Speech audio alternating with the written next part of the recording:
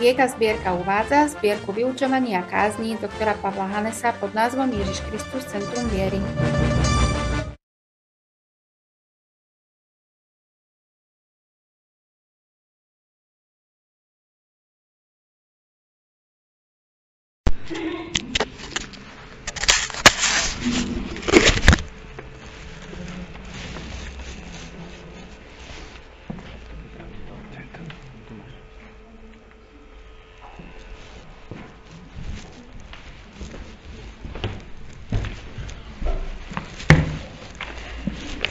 Ja som eh, pripravil takú, eh, takú eh, neviem ako to nazvať. Chcel som najskôr mať, že prednášku, lebo list, ktorý som dostal od sestry, organizátorky, mal, teda mi zadal úlohu, aký význam má nedelná škola v zbore. No a aký význam má nedelná škola v zbore, to je veľmi, veľmi taká vedecká úloha, nie? Súhlasíte? A, takže... Dobre, ďakujem. Takže som sa trošku zapotil, ale už som sa osprchoval, takže sa nemusíte bať medzi tým. A rozmýšľal som, že... Môžete mi to zdvihnúť? Ako to? Tu? Dobre, ďakujem som to pochopil. Uh, takže som hľadal, že ako by, ako by asi sa to hodilo. A teraz uh, pri tých fotkách, vy ste asi úplne inde, takže ja neviem, či to vôbec to sa bude nejak hodiť do toho, ale e, pokúsim sa, aby ste mi nezaspali tu po dobrom obede a, a takých, by som povedal, spomienkach na, na, na realitu, ktorá sa tu diala aký význam má nedelná škola v zbore. No to, to nie je kázeň, takže e, ja som sa to snažil urobiť jedným takým spôsobom. E, dnes e, je taký moderný, sa mi zdá, ja som teda sa s tým stretol len nedávno, volá sa to mapovanie mysle. Niekto sa s tým stretol? Mladí ľudia, čo chodíte do školy. Mind mapping, hej? To teraz v školách nejako začali pestovať, akože grafický mapa mysle z, z, z, graficky znázorniť, e, čo vieme o nejakej veci a z akých hľadisk sa dá o tom rozmýšľať. Takže ja som e, sa pokúsil urobiť mapu mysle, akú mám, keď myslím na nedelnú školu. Hej. Takže pani učiteľka, ak to nebude dobre, tak sa budem učiť, hej. pokúsiš sa... Áno? No ja som žiadnu, žiadnu skúšku nerobil, len som downloadoval jeden program z internetu a vyrobil som e, proste, takže to prosím, keby ste mi to e, premietol.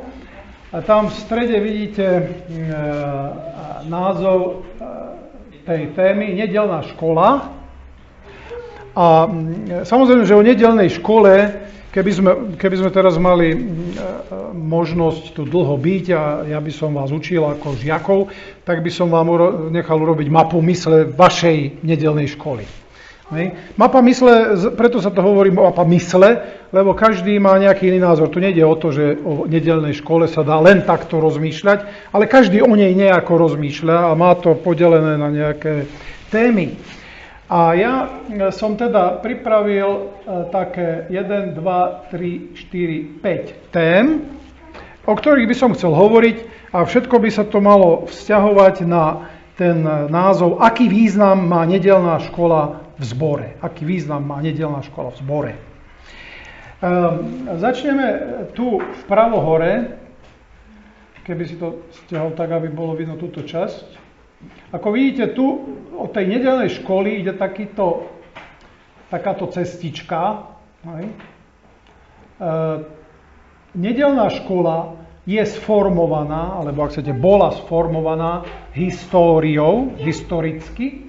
A v tej histórii môžeme uvažovať o rôznych veciach v dejinách, ale ja som si povedal, že mali by sme hovoriť niečo o prehistórii, teda o začiatkoch úplne. Potom o vlastnom začiatku nedelnej školy, ako v tej forme, v akej sa e, začala v novoveku pestovať, alebo, alebo sprevádzať a u nás. Tak my sme počuli doteraz hlavne toto, hej, Liptovský Mikuláš. Hej.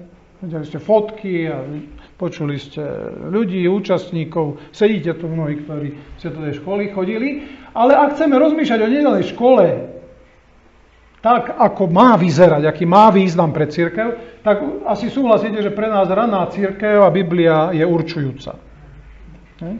Takže začíname ranou církvou a samozrejme teraz by sme mohli dlho hovoriť, ale môžeme si povedať, že pre ranú církev samozrejme Ježišov prístup k vyučovaniu a k deťom je rozhodujúce. Nechajte deti, aby prišli ku mne.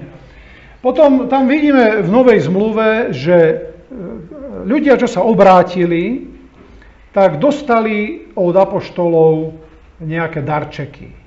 Aké darčeky dostali? No písali im listy. Ne?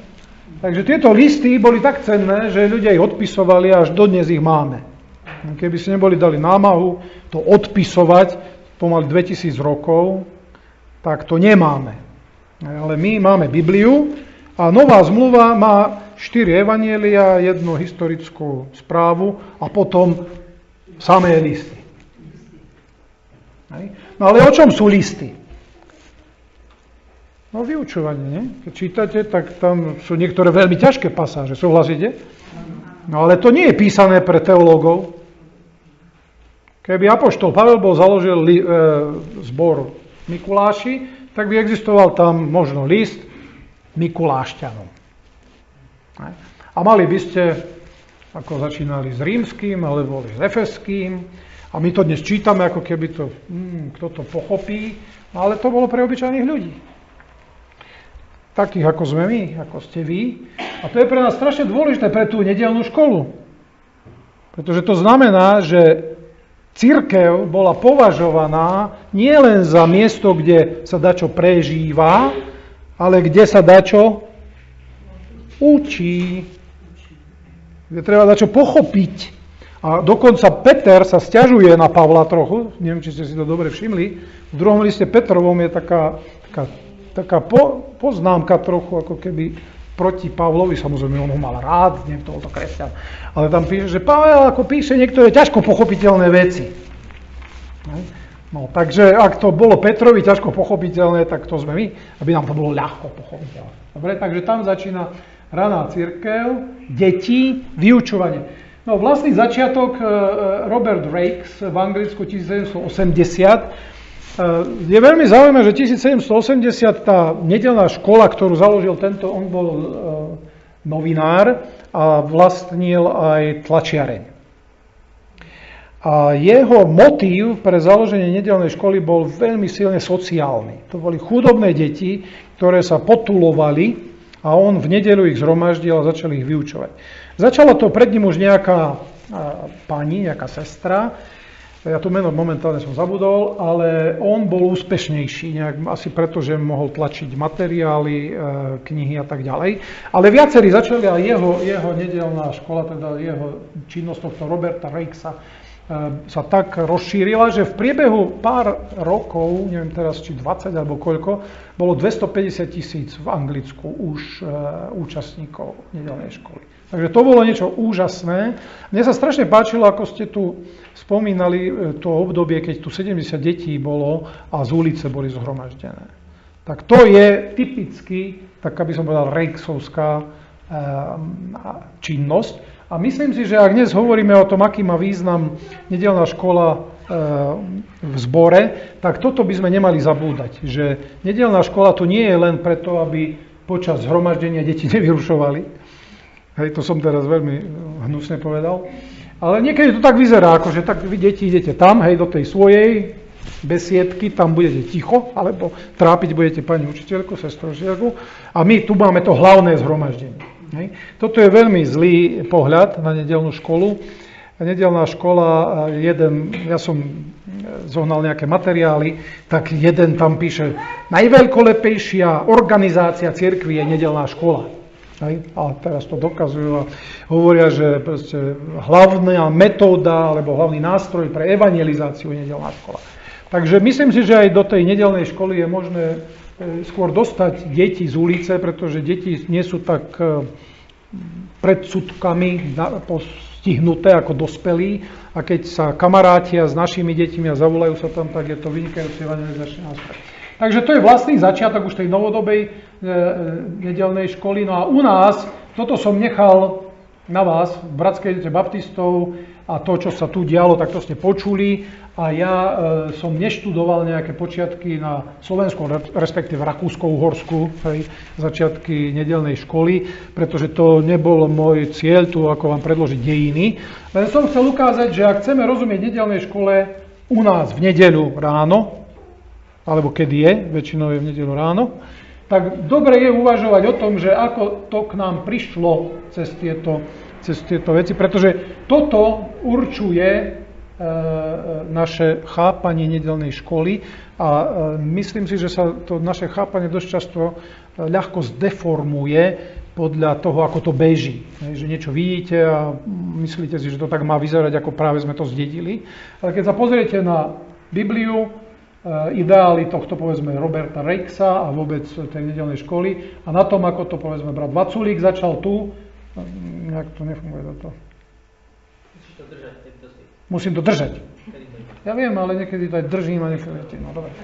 Takže poďme na to ďalšie. Ideme e, proti e, smeru hodinových ručičiek.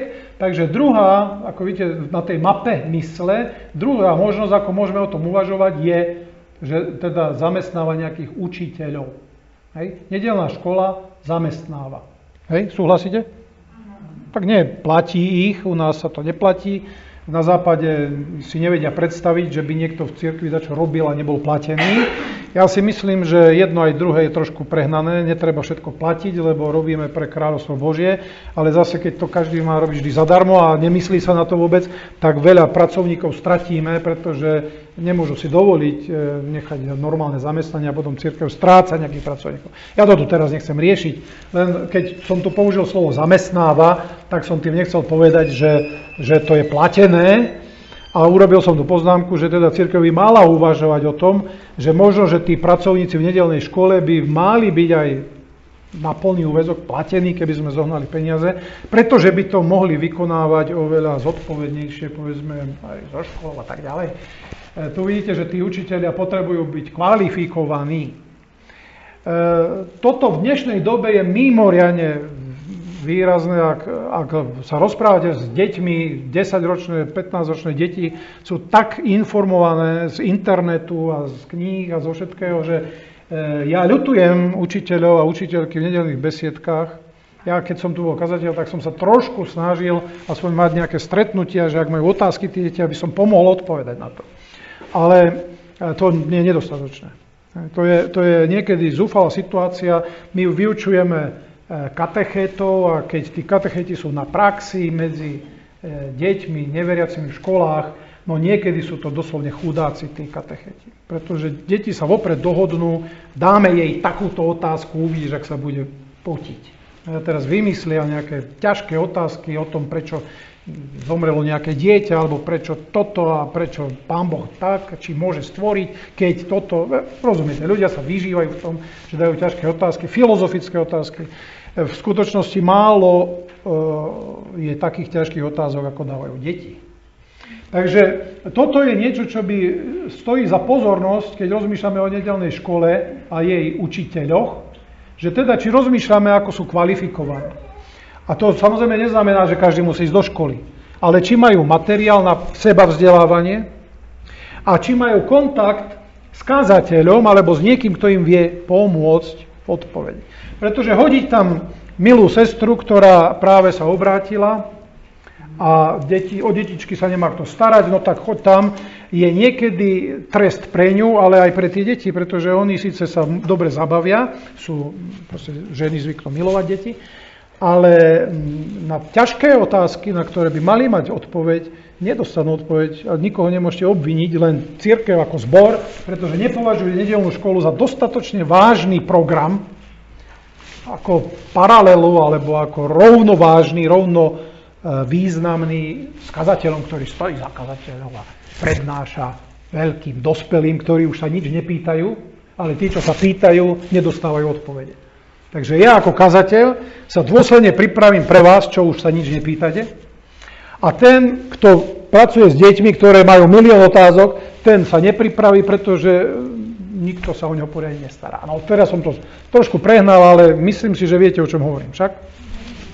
Takže toto je vážna vec a myslím, že keď e, rozmýšľame o význame nedelnej škole v zbore, tak toto stojí za pozornosť. Kvalifikácia, čas, to je otázka aj zamestnania. Nemôžeme čakať od ľudí, ktorí sú na plný úvezok niekde, aby sa kto vie ako pripravili na nedelnú školu. Nedelná škola vyžaduje takú prácu ako kazateľskú prácu. Len kazateľ, ten ráno stane, má fajron, však môže sa pripravovať, no ale učiteľ nedelnej školy, tak ten musí si zháňať popri zamestnaní. Tak to je nefér. A myslím, že táto škola by mala, teda církev by mala reflektovať čas. A ďalšia strašne dôležitá vec, koordinácia s církvou. Pretože ak kazateľ káže jedno a deti v, ško- v, v besiedke či v nedelnej škole sa dozvedia niečo iné, tak potom to nie je dosť dobré. Takže tie rozhovory medzi učiteľmi a zborom by mali existovať. Teda je tu potreba koordinácie.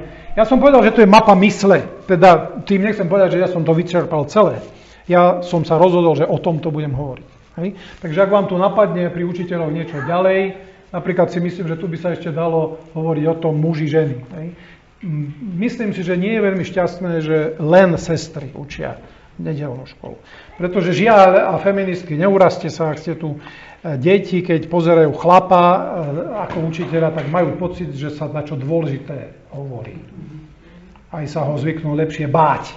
A niekedy to treba. Pretože ste počuli, že tu sa na nedelnej škole aj strieľalo, aj. Keby tam bol poriadny chlap, tak možno by sa nestrieľalo, lebo by hej, povedal ticho a všetci sa začnú triasť. Tak nie, to nie je riešenie, hej, ale feminizácia školstva tiež nie je kto vie čo. Hej. Absolutná feminizácia.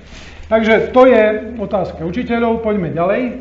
Tuto mám spojenie, trošku to bude súvisieť aj s týmto vzťah nedelnej školy s niekoľkými oblastiami v cirkvi.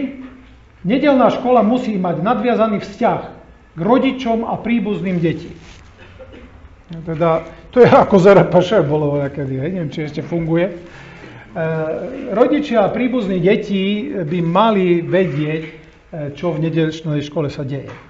A nedelná škola, ten učiteľ by mal vedieť, že ako pôsobia rodičia na to dieťa.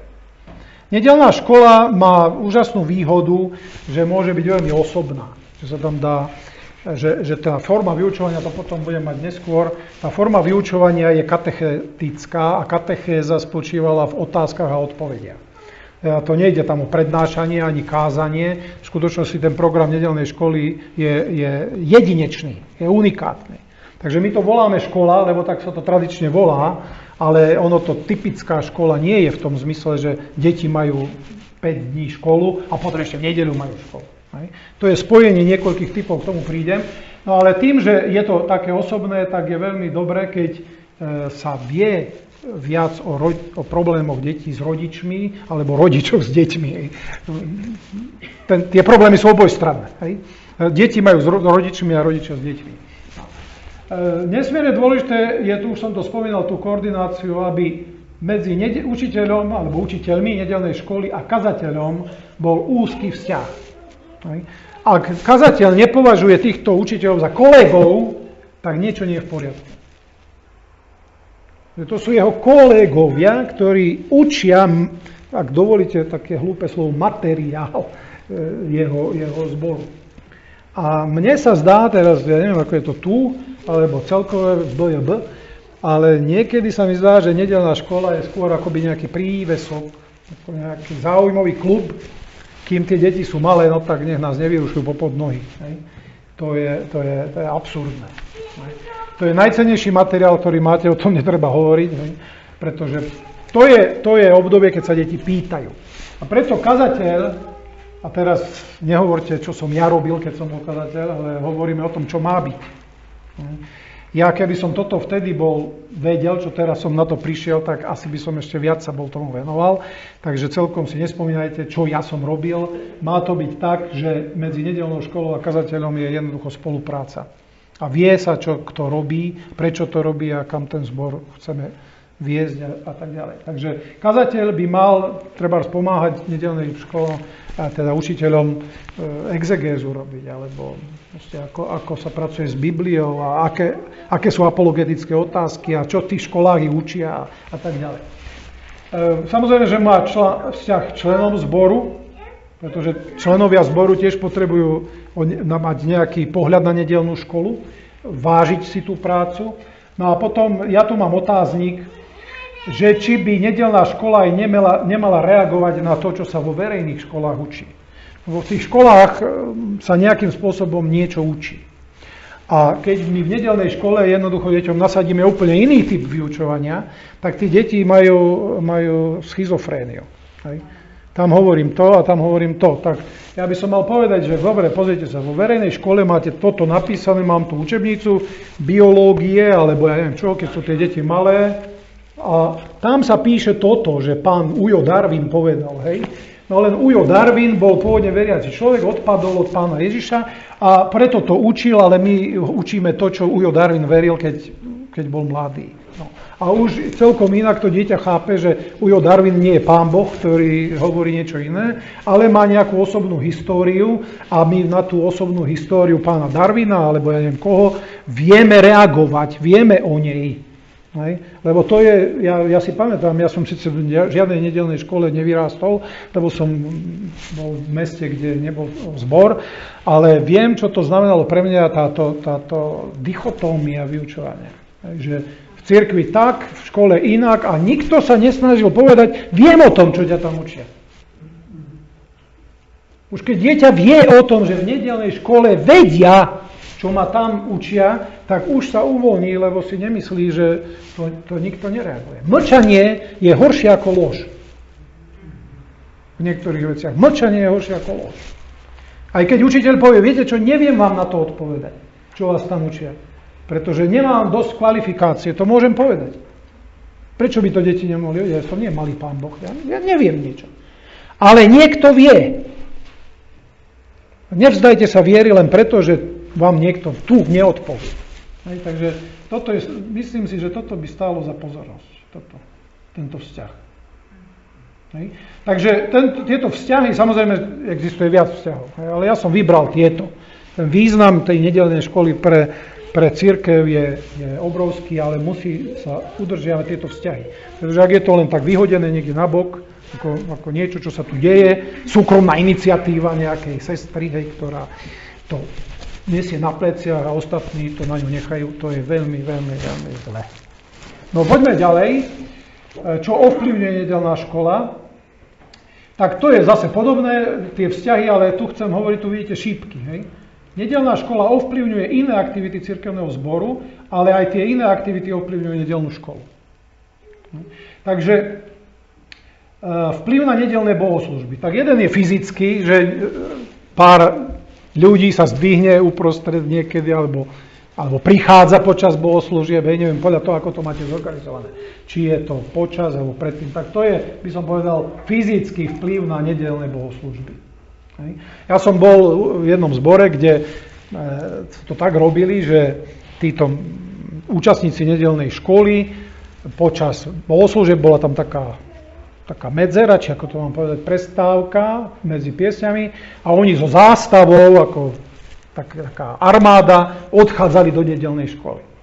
A celý zbor vstál a proste ich akoby vyprevádzal, že toto, čo idete robiť, je strašne dôležité, my sme s vami a oni mali nejaký názov. Rozumiete, teda nie, že sa vytratia, ako keby zlodeji, hej, tak my, prepáčte, my ideme zmiznúť, lebo vy tu robíte to dôležité, ale nám sa tu už nechce byť, tak my už ideme niekam. No tak to je absurdné. Toto, tá nedelná škola, ak nie je dôležitejšia ako bohoslužby, tak je určite na tej istej úrovni. Dúfam, že e, sa na to nehneváte, že to tak hovorím. Tam sa káže Božie slovo, tam sa získavajú srdcia, tam sa pracuje. A urobiť z liturgickej bohoslužby niečo slávne a z nedelnej školy niečo vedľajšie je zlé.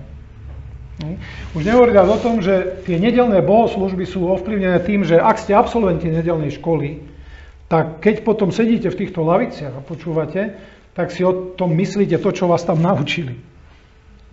Súhlasíte? To znamená, že ja tu, v tej nedelnej škole, kde to mám, hej, pripravujem na tie bohoslužby budúcich poslucháčov. A ak ich pripravím zle, no tak oni potom nemajú, buď k tomu nemajú úctu, alebo ja neviem, čo. Hej.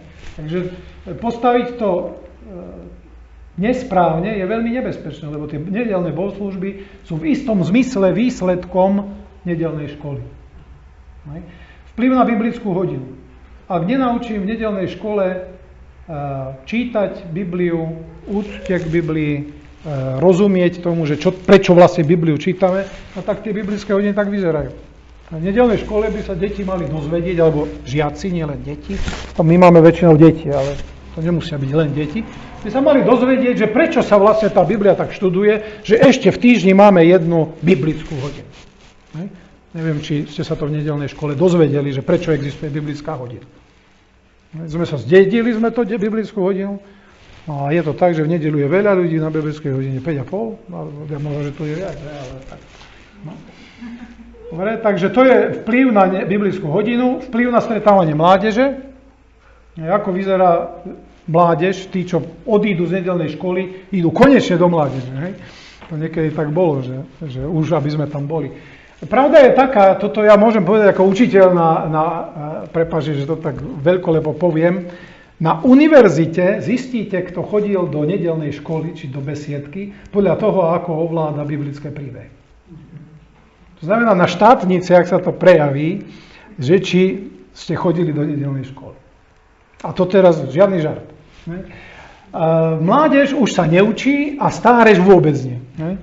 Znamená, tie deti sa učia z pamäti, veršiky, ne? musia sú známkované, odmeňované, vyhanbené, ak niečo nevedia. Mládež, tá už, no, tá už ani Bibliu nemá, už sa správa rozšafne, no čo teraz, my už sme veľkí, počítače, hej, alebo v mobiloch to majú, hej, a už to tam čítajú.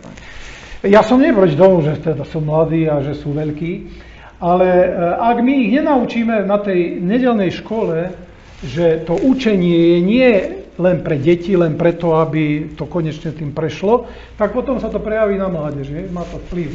No a na domové skupinky, a môžete si tu ešte povedať iné, hej, tak tie vplyvy sú na všetko. Proste nedelná škola, tým, že ovplyvňuje deti, tak myslím si, že súhlasíte, že ovplyvňuje všetko. Hej, takže my by sme si mali chrániť tú nedelnú školu ako oko v hlave a veľmi dobre sledovať, čo sa tam deje. Lebo tam sa tvorí naša budúcnosť. Teraz to ja chcem prehnať, samozrejme, budúcnosť má Boh v rukách a tak ďalej, takže ne, nerozumiete mi zle. Dobre, takže toto sú, uh, myslím, štyri veci, no a poďme ešte na tú piatú. Ešte mi nespíte? No. Dobre, poďme ešte na tú, na tú piatú. Čo nedelná škola uskutočňuje? Toto je v podstate najdôležitejšie. Tým nechcem povedať, že tie ostatné sú nedôležité, ale e, tu máte program. Hej? Že tá, tá nedelná škola má nejaké programy. A na tie programy sa môžeme dívať z rôznych strán tak e, toto, že sú hlavne pre deti, to som nechal tak ako e, osobitne, pretože tým sa vyjadruje, že aké, akú majú cenu deti pre nás. Nemalo by to byť vyjadrením toho, a toto si myslím, už som to hovoril, ale zopakujem, e, to je vyjadrením toho, ako sa správame k nedelnej škole, či ide len o to zbaviť sa detí, aby nás nevyrušovali, alebo deti majú pocit a vedomie, že toto nie je, že my odchádzame, aby sme nevyrušovali, ale my sme dôležití, my máme vlastný zbor, ktorý je samozrejme súčasťou tohto zboru, ale je to zbor, je to, je to, tam sú bohoslužby. Takže e, je to hlavne pre deti, lebo tam tie deti sa učia, ale myslím si, že do nedelnej školy, a toto je možno trošku radikálna myšlienka, by mali chodiť aj noví veriaci, ktorí sa obrátili zo sveta nikdy nechodili do žiadnej nedelnej školy. Tam tá nedelná škola by mohla mať aj triedu pre dospelých novoobrátených. Rozumiem, takže máte malú besiedku, strednú besiedku, veľkú besiedku a potom ešte nedelnú školu pre dospelých, ktorí sa práve obrátili, ale Bibliu nečítali, nevedia, kto je Apoštol Pavel, nič. Oni prídu do zboru a tam sa káže, no a ja veľmi často mám taký pocit, tak čo teraz mám vysvetľovať, kto je Daniel, keď citujem Daniela, alebo, alebo len povedať, v Danieli napísané a ten niekto tam prišiel z ulice, práve sa obrátil a on nevie, čo je. Tak teraz mám vysvetľovať? No ale keby som vedel, že prešiel nedelnou školou, že mu to tam niekto vysvetlil, tak už má kazateľ ľahšiu úlohu. Takže to mi je veľmi dôležité, že by to boli deti, ale aj ostatné. A tu som vám slúbil, že budem hovoriť, tie programy majú spájať také tri typy vyučovania, alebo aktivity, nie vyučovania. Volá sa to škola. Hej. Ja, je to v úvodzovkách, pretože nie je to typická škola. Hej? Nie je to škola v tom zmysle, že dostanete učebnice, urobíte skúšky a dostanete známky. Hej? A učíme sa, ale je to spojené s bohoslužbami, lebo sa spieva a modlí. Hej? To znamená, v momente, keď začnete spievať a modliť sa, a rozhovor, že sa pýtate, kto ako sa cíti, ako sa má, máte osobné vzťahy, tak už to nadobúda formu bohoslúžieb. Súhlasíte? Lebo je tam úctievanie, je tam kláňanie sa Bohu. Dieťa sa učí počúvať Boží hlas. A je tam ale aj voľnočasová aktivita, pretože zároveň je to akýsi typ zábavy. Ja si myslím, že je nebezpečné, ak dieťa nadobudne dojem, že dobre, ostatné deti majú 5 dní školy, a ja ako chudák veriaci alebo veriacich rodičov, e, syn či dcéra, no tak ja mám aj v nedeľu školu. No, tak Hej, to je, tam, by, tam by malo byť jasné, že to je, toto bolo pekné, čo ste hovorili o sestre Milinke, že ste sa na to tešili, že to bolo niečo úžasné, že to bol zážitok tam byť. Takže škola, bohoslužby, voľný čas a tu som aj nenapísal, ale ten katechetický typ vyučovania je typický pre, pre církev. Církev už v, v prvých storočiach zakladala katechetické školy, ktoré vyrástli na obrovské e, ustanovizne. Povedzme, v Alexandrii bola katechetická škola, z ktorej bola neskôr čosi ako univerzita. Takže e, kresťania majú úžasný vzťah k vyučovaniu a tá nedelná škola z toho, tej tradície musí čerpať. Dúfam, že súhlasíte, že toto všetko spojiť vyžaduje pomaly génia.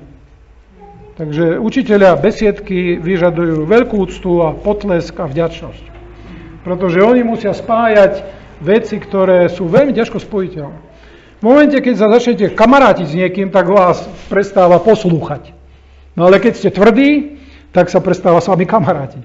A teraz byť aj pevný, aj sa Hej? To je ťažké, treba sa za to modliť a preto si myslím, že toto je nesmierne dôležité, aby tie programy spájali tento typ a vtedy majú pre církev, to, to je moja téma, aký význam má nedelná škola v zbore. No a teraz máme to, čo sa tam vlastne deje, evangelizácia, vyučovanie a učeníctvo. Hej, takže toto je obsah tých programov. Ako vidíte, programy určené pre deti, typ programov škola bohoslužby, voľný čas. A teraz tu máme tri veľké veci, zase netvrdím, že sú len tri, môžete mať viac, ale pre mňa je najdôležitejšie spomenúť tieto tri veci. Evangelizácia. My veríme, že dieťa sa môže a má obrátiť. Potrebuje prežiť odpustenie hriechov, pokánie a potrebuje prežiť, čo to je, spoznať Boha ako osobného spasiteľa. To je evangelizácia. Samozrejme, že sa to dá zmanipulovať, vy ste tu už niektorí e, taký náznak e, povedali, že to bolo emocionálne alebo tlak, takže učiteľ besiedky nesmie urobiť nátlak, hej, akože teraz strach pôsobiť alebo čo, ale o tom to je, o tom je celé umenie e, evangelizácie, neurobiť nátlak a napriek tomu vymodliť pôsobenie Ducha Svetého, aby ten hriech sa odhalil, aby to dieťa túžilo po odpustení a radosti s pánom a nie, že teraz ak učiteľ sa bude hnevať alebo čo povedia, že ostatní sa obrátili a nie. Rozumiete, ten tlak je veľmi nebezpečný, ale nemôžeme sa vyhnúť tomu, že evangelizácia je centrálnou úlohou nedelnej školy. Ja, keď mám deti, tak pre mňa najcennejšia najdôležitejšia úloha v živote bola, aby tie deti boli v nebi. To som povedal, pane, rob čo chceš so mnou aj s nimi, ale ja nechcem do pekla splodiť nikoho. No, proste to, toho sa bojím dodnes a tým nechcem povedať, že, že, že to máme nejak za sebou, alebo že sa mám niečo báť.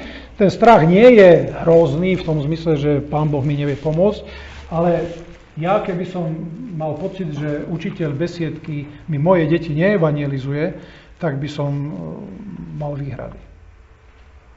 O tom, ako sa to robí, je iná otázka.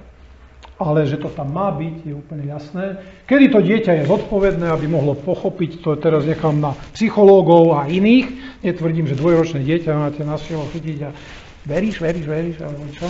Ale, ale evangelizácia je... Takže e, obsah toho vyučovania je, je evangelizácia.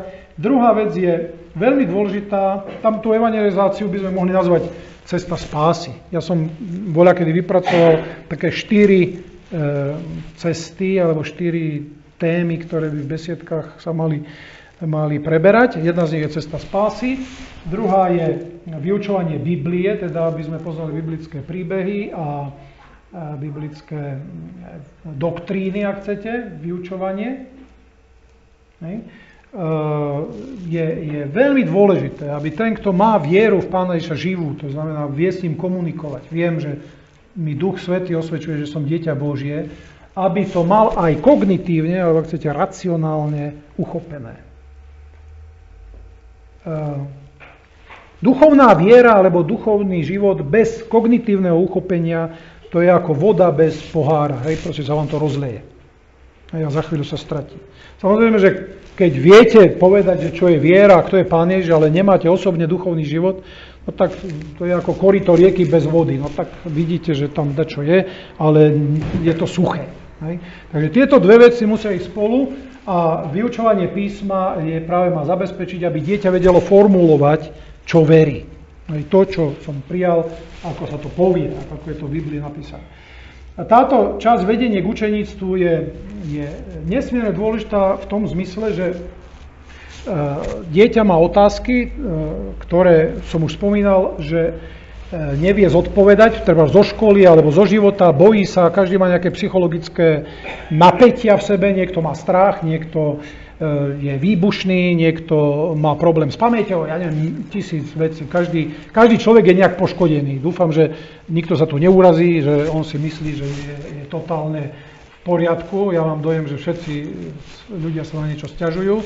No a keď máte e, vieru v srdci, tak e, tieto stiažnosti, strachy a všetké problémy, pochybnosti treba vedieť nejak zodpovedať. V tom programe nedelnej školy by tento pastorálny rozmer mal byť. Keď sa bojíš e, a keď, keď si nevieš rady s nejakým zvykom, zlozvykom, alebo nevieš sa zmieriť s niekým, tak pozri sa, takto sa to dá riešiť. Hej? To je vedenie k učenictvu v ohľade, ohľade pastorálneho E, e, pastorálnych vecí. A potom to, čo som spomínal, apologetika, hej, teda obrana viery, tá je tiež v tom učeníctve zahrnutá. Takže význam nedelnej školy pre, e, pre zbor v podstate sa ani nedá, nedá nejako vyjadriť špeciálnymi slovami, pretože nedelná škola by mal byť jednoducho súčasť zboru do tej miery, že ona tu nie je pre zbor, ale ona je časť zboru. To znamená, aký význam má žena pre manželstvo. Aký význam má muž pre manželstvo. No tak ak nie je tam žena, tak nie je manželstvo, lebo muž nerobí manželstvo. A ak tam nie je muž, ale len žena, tak tiež nie je manželstvo, lebo, hej, takže možno trošku extrémny prípad, nedelná škola má taký význam pre zbor, že bez nej zbor nie je zbor, pretože tam musí byť škola. Hej? A tým nechcem povedať, že pred Robertom Rejksom hej, nebola církev, pretože tu vidíte, že už raná církev vyučovala a keď Pavel napísal list, tak predpokladám, že ho čítali, nie? A keď mu nerozumeli, tak sa pýtali. Tak mali školu, možno nie nedelnú, niekde osobitne, ale museli sa učiť. Takže, bratia a sestry, myslím si, že e, vy veríte, že nedelná škola je nezastupiteľná, že my kazatelia, alebo bývalí kazatelia, sme mali tomu venovať zrejme oveľa viac pozornosti a tým sa ospravedlňujem sestram a učiteľom, ktorí sa často trápia a potia ešte sú kritizovaní, že tie deti nie sú poslušné, čo my sme nevychovali doma, tak potom sa to na nich, na nich zbehne. Ďakujem vám za pozornosť.